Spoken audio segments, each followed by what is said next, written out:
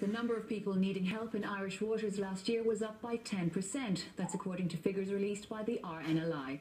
Lifeboat crews launched 1,089 times in 2014, bringing some 1,414 people back to shore.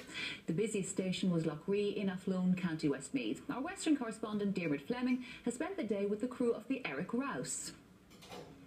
They're about as far away from the sea as you can get in Ireland, but despite Athlone's RNLI station being only two years old, it was the busiest in the country.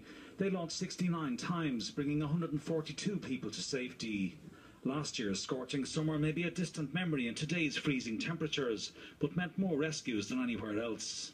We have various different types of users of the lake. Uh, most of our rescues would be of leisure craft, uh, either uh, people who own their own private craft or people who are visiting and taking a holiday on the lake on a hire craft.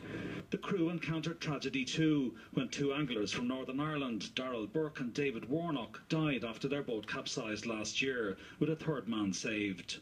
Major uh, rescue there. Right? It was um, it was very tragic, and just I suppose lucky for one of the fishermen who survived that we were able to get out and uh, save his life. You know, it, it was difficult for all involved that the rescue.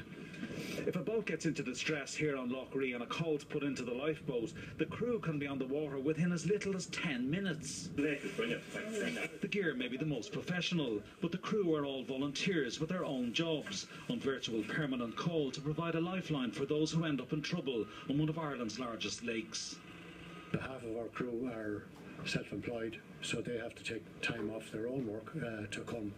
Uh, the other half have good employers who are very generous in, in, in allowing them time to come. The exercise comes to an end, but these local heroes remain on permanent standby, providing a service which can mean the difference between life and death on one of Ireland's most treacherous stretches of water.